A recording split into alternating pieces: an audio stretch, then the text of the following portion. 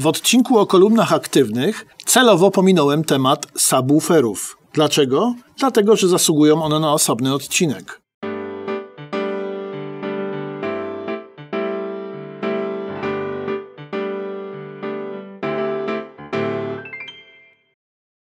Czym jest subwoofer? W skrócie można powiedzieć, że jest to zestaw głośnikowy służący do odtwarzania najniższych częstotliwości słyszalnego pasma. Subwoofery możemy podzielić ze względu na ich budowę oraz zastosowanie. Istnieją subwoofery pasywne i aktywne. Zajmijmy się najpierw tym pierwszym podziałem. Subwoofer pasywny, dzisiaj coraz rzadziej stosowany, to po prostu głośnik niskotonowy w obudowie, uzupełniony zwrotnicą pasywną. Zaletą takiego rozwiązania jest prostota budowy. Największą wadą natomiast jest obecność pasywnej zwrotnicy. Z uwagi na to, że w subwooferach częstotliwość odcięcia, czyli częstotliwość, przy której subwoofer powinien zakończyć przetwarzanie, jest zazwyczaj niska lub nawet bardzo niska, np. 80 Hz.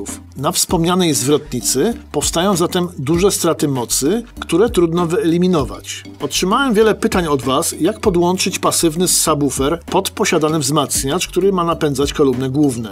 Niestety trudno w ten sposób podłączyć subwoofer, który posiada jeden głośnik. Podłączenie do np. jednego kanału wzmacniacza nie wchodzi w grę. Rozwiązaniem może być subwoofer z dwoma głośnikami w jednej obudowie lub głośnik dwucewkowy. Oczywiście zawsze można w takim przypadku użyć dwóch subwooferów pasywnych, podłączając każdy do jednego kanału wzmacniacza razem z zestawami głównymi. Należy wtedy zwrócić uwagę na łączną impedancję takiego zestawu, aby nie przeciążyć wzmacniacza. Olbrzymia większość spotykanych obecnie subwooferów to modele aktywne. Taki subwoofer posiada wbudowany do obudowy wzmacniacz wraz z aktywną zwrotnicą, która w tym przypadku jest filtrem dolnoprzepustowym, często regulowanym. Każdy SAP aktywny powinien mieć trzy podstawowe regulacje. Pierwsza to regulacja poziomu, czyli po prostu czułość wejścia. Za jego pomocą dopasujemy głośność SABA do głośności kolumn frontowych. Drugą regulacją jest częstotliwość odcięcia lub y, częstotliwość podziału. Ten parametr decyduje przy jakiej częstotliwości nasz subwoofer kończy swoje przetwarzanie. W ten sposób dopasujemy jego pracę do pracy kolumn przednich, aby ładnie zgrać ogólne brzmienie basów. Trzecią ważną regulacją jest regulacja fazy. Ponieważ subwoofer jest osobną jednostką, oddaloną często od głównych kolumn, potrzebna jest nam korekcja fazy, aby kolumny główne i subwoofer wzajemnie sobie nie przeszkadzały w odtwarzaniu najniższych częstotliwości. Czasem jest to tylko przełącznik odwracający fazę, a czasem płynna regulacja za pomocą pokrętła. Duże subwoofery mają czasem filtry subsoniczne, czyli takie, które eliminują częstotliwości poniżej 15-20 Hz, które i tak nie są słyszalne, a obciążają niepotrzebnie głośnik i wzmacniacz. Takie filtry są również pomocne przy współpracy z gramofonami analogowymi, które czasem sprawiają kłopoty i potrafią sprzęgać się przy bardzo niskich częstotliwościach. Moce wzmacniaczy montowanych do subwooferów aktywnych wynoszą od kilkudziesięciu watów dla małych jednostek do ponad 1 kW dla dużych subwooferów. Nie należy się fascynować tymi mocami. Słuch ludzki jest bardzo mało czuły przy niskich częstotliwościach. Użytkownicy oczekują od subwooferów produkowania głośności niskich dźwięków na poziomie 110 dB, a nawet większej. Przy dość niskiej efektywności moce wzmacniaczy muszą być wysokie, aby to wszystko zrekompensować. Do użytku domowego subwoofer ze wzmacniaczem o mocy 200 W to nic wielkiego. Głośniki używane w subwooferach są zazwyczaj specjalnie konstruowane do tych celów. Mają specjalną konstrukcję przystosowaną do dużych wychyleń membrany i zazwyczaj dość dużą moc znamionową. Średnice głośników subwooferów wahają się od 13 cm dla najmniejszych jednostek do 46 cm dla najcięższych potworów. Obudowy subwooferów są zazwyczaj obudowami typu bass reflex, czyli obudowami z otworem. Niektóre firmy stosują obudowy, również obudowy z membraną bierną, będące odmianą bass reflexu lub obudowę pasmowo-przepustową. Wyższej klasy subwoofery mają obudowy zamknięte. Inne rodzaje obudów głośnikowych są rzadko stosowane w sprzęcie domowym. Subwoofery aktywne stosuje się w kilku różnych konfiguracjach. Można kupić subwoofery, które są elementem większego systemu, np. zestawu do kina domowego. Subwoofer może być także elementem tzw. Tak zestawu 2.1, czyli dwóch kolumn przednich i aktywnego suba. Często większość elektroniki, również tej napędzającej kolumny główne, znajduje się wtedy wewnątrz subwoofera. Takie rozwiązania są popularne w zestawach przeznaczonych do współpracy z komputerem lub odtwarzaczem MP3. Subwoofer może być również sprzedawany całkowicie osobno dla uzupełnienia posiadanego zestawu audio. I tutaj znowu muszę poruszyć kwestię podłączenia subwoofera do zestawu. W przypadku zestawu kina domowego nie ma najmniejszego problemu. Zestaw taki ma dedykowane wyjście LFE i tam podłączamy nasz subwoofer. W zestawie stereo nie jest już tak prosto. Wyobraźmy sobie, że posiadamy zwykły, nawet dobrej klasy wzmacniacz stereo i dwie kolumny. Chcemy uzupełnić nasz, nasze stereo o subwoofer aktywny. Wzmacniacz nie ma wyjścia na subwoofer. Gdzie zatem możemy go podłączyć? Pamiętajmy, że nasz sub musi zwiększać swoją głośność wraz z kolumnami głównymi. Odpada więc pomysł z podłączeniem go np. do wyjścia pętli magnetofonowej we wzmacniaczu. Niektóre suby mają zaciski głośnikowe do podłączenia go do wzmacniacza i podłączamy tam także nasze kolumny na tzw. Tak przelot. W takim przypadku subwoofer sam podbiera sobie sygnał z wyjść głośnikowych wzmacniacza i przekazuje go bez zmiany do kolumn głównych. Niestety w takim przypadku czeka nas plątanina kabli, zwłaszcza kiedy subwoofer stoi daleko od wzmacniacza. Innym rozwiązaniem, kiedy nasz subwoofer nie posiada zacisków głośnikowych, może być podłączenie pod wyjście słuchawkowe wzmacniacza. I tutaj może czekać nas kłopot, bo po pierwsze musimy jakoś sumować nasz sygnał słuchawkowy stereo, jeśli subwoofer ma tylko jedno wejście, a po drugie większość wzmacniaczy wyłącza kolumny główne po podłączeniu słuchawek. Myślę jednak, że większość naszych widzów poradzi sobie z tymi kłopotami. W razie czego pytajcie. Ustawienie subwoofera w naszym pomieszczeniu odsłuchowym, które najczęściej jest po prostu naszym pokojem, w którym mieszkamy, jest bardzo istotne.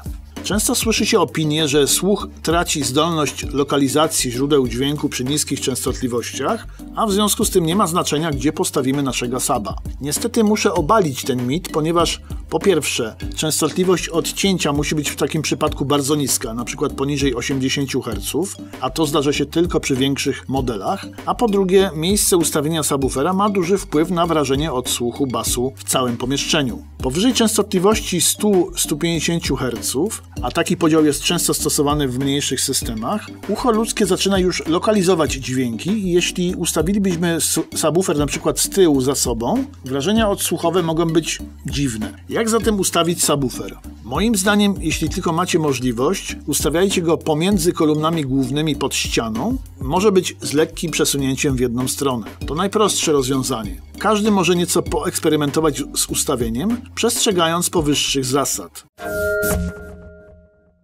Kiedy kupujemy zestaw kina domowego, zazwyczaj subwoofer w takim zestawie już jest. To samo z zestawami 2.1 do komputera. Jeśli jednak mamy zamiar do posiadanego już zestawu stereo dokupić subwoofer, wtedy należałoby zastanowić się nad tym, jaki sub będzie pasował do naszego zestawu, a także do pomieszczenia, w którym go słuchamy. Od razu odradzam subwoofery pasywne.